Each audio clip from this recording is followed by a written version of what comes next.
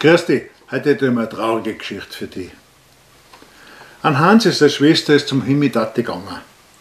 Er muss das Begräbnis zu organisieren anfangen. Die Lise war ja brav und eine gute Haut. Er hat das ganze Leben ein wenig auf seine Schwester geschaut.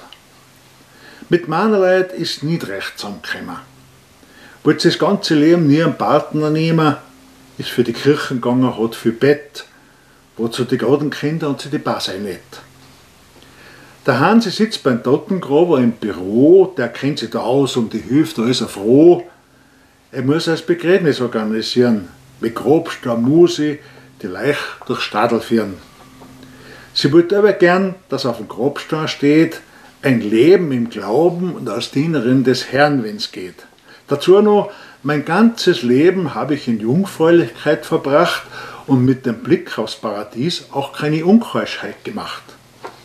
Burlein, der Text ist halt dann lang. Wenn ich da ein wenig zum Plan anfange, geht sich das nie aus. Wir müssen Christen werden. Wir müssen das auf den Stein aufbringen, das hätte ich gern. Der Hans, er huckt nur da, hat keine Ahnung, ist für ihn neu so eine Begräbnisplanung. Der Totengruber macht Vorschläge, redet und redet. Sie kommen auf keinen grünen Zweig, es ist ein Gefrett. Mein Vorschlag war, wir machen das wie bei der Post. Das fasst das gut zusammen und auch weil es weniger kostet.